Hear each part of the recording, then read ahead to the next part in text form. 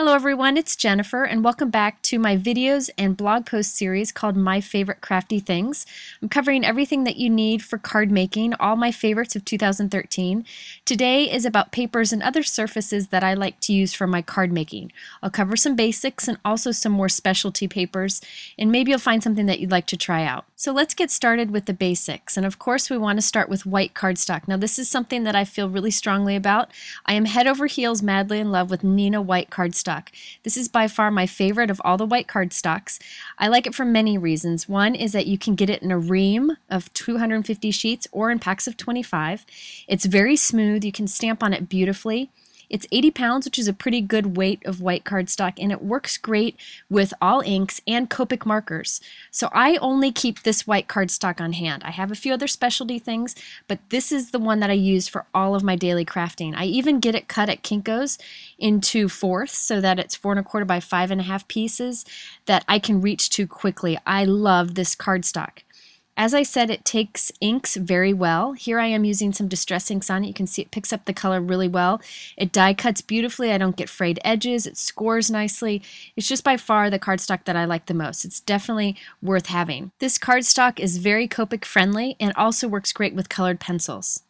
Now there is one other white cardstock that I keep on hand. I keep it in a separate bag so I don't get it mixed up. This is a Simon Says Stamp heavyweight white cardstock. It's much heavier in weight. This is 120 pounds. This is what I use if I want to do a card base where it's a one layer card and do Copics because Copics won't bleed through this. It's a little slicker than the other, so you can see not as much ink goes on it, which is still very beautiful. Just something you want to keep in mind. And you want to be careful because your ink might smudge if you don't let it dry for a little bit uh, because it's got a slick surface to it. But I love this cardstock for card bases. So this is definitely one that you might want to have on hand too. It has a little bit warmer of a white color, but it's not that big of a difference. So that's the Neenah on the left and the heavyweight Simon Says stamp on the right. So these are the two whites that pretty much I only keep besides watercolor paper, which I'll talk about in a little bit. Now another cardstock that I reach for quite often is kraft cardstock. I like it because it goes with any style of card, it kind of neutralizes a lot of bright colors, and it great, works great for masculine cards. There are actually three different colors of kraft that I happen to like. The first is Neenah Desert Storm, which is a lot like the white that I showed you before. It's also 80 pounds, and it's a very light kraft that's smooth and great for stamping. The middle color, it's a little bit darker, is My Favorite Things Kraft. I like this one a lot because it's kind of a middle shade. It's 100 pounds, so it's a little bit thicker, great for a card base, and it's really nice and smooth and takes stamping quite well. Then the third on the right is the Hero Arts Kraft, which is kind of a different ballpark. It's thinner, it's only 65 pounds, but it comes in note cards and envelopes and also in full 8.5 by 11 sheets. But it has a little texture to it, kind of like a paper bag. So that's different. It has a little texture to it, so uh, you just you know have to keep that in mind when you're stamping on it but i love it and i use it a lot because of that texture and the little irregularities in it that make it so lovable so i really do like all three kraft cardstocks for different reasons Lately, I've been finding myself reaching for black cardstock quite often. I like the contrast of it, and even a thin line on a card really makes the card kind of pull together and gives a nice defined edge. There are two black cardstocks I like. One is the Bazzill Licorice Twist. It's 100 pounds, solid black. That's the one that you see on the left. It's a little more bluish black. Now the warmer black on the right is the Hero Arts black paper. Now this comes in note cards, envelopes, and also 8.5 by 11 sheets. I like this because it's white on the other side, so you can make a note card out of it and have a white inside. Both of these are great, just two different products. The black uh, Hero Arts is uh, 80 pound instead of the 100 pound like the Bazzill. This brings us into colored cardstock. Now there are three different types of colored cardstock that I like to use for card making.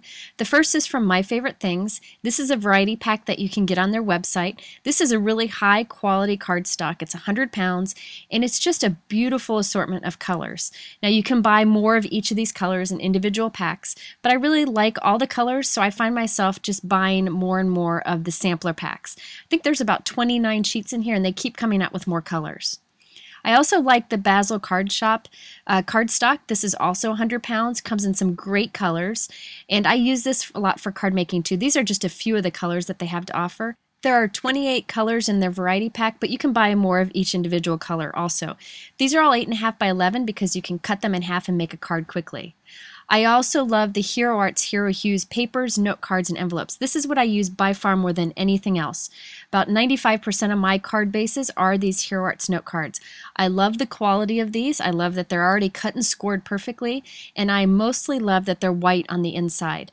They take ink very well. I don't have to worry about it working well with the ink. I don't have to worry about scoring it quick and easy. And I also love that you can get the papers in 8.5 by 11 that perfectly match all of the note cards too. You can buy variety packs, all different kinds of options. They even have black or dark colors with the white core on the inside. The only time I really don't use Hero Arts for a note card base is if I want to do a vertically opening card. Now my favorite thing about the Hero Hues line from Hero Arts is these envelopes. I think they're absolutely adorable. They come in all the great wonderful colors that match the note cards. And regardless of what kind of card I make, I almost always, 99.9% of the time, use these envelopes. I love them and they fit all four and a quarter by five and a half cards. So they're great to have on hand and much better than a plain old envelope. Another basic must have in my book is the watercolor cardstock because it's great for techniques. This year, a new one came out that I'm just head over heels in love with. It's the Distress Watercolor Cardstock from Tim Holtz.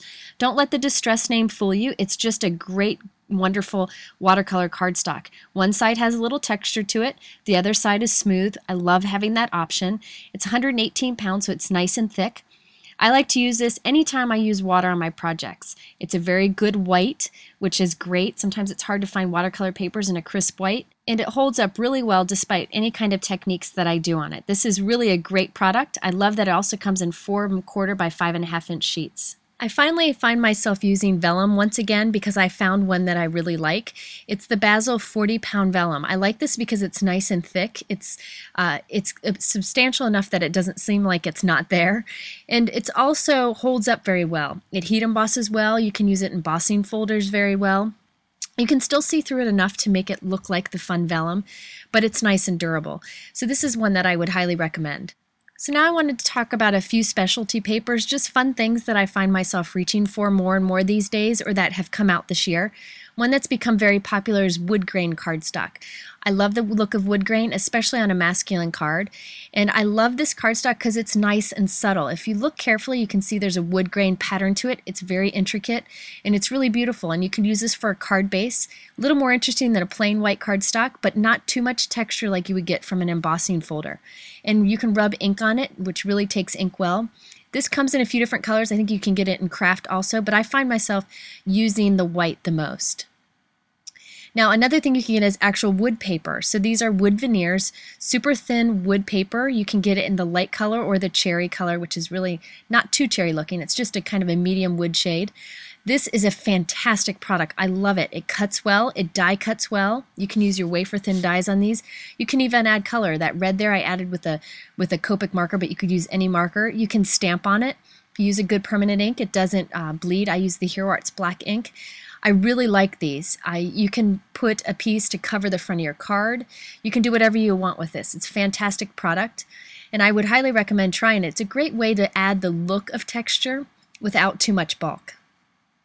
I also wanted to mention if you wanted to try a few of these papers that you've seen me mention here, I know Simon Says Stamp has a variety pack that you could try.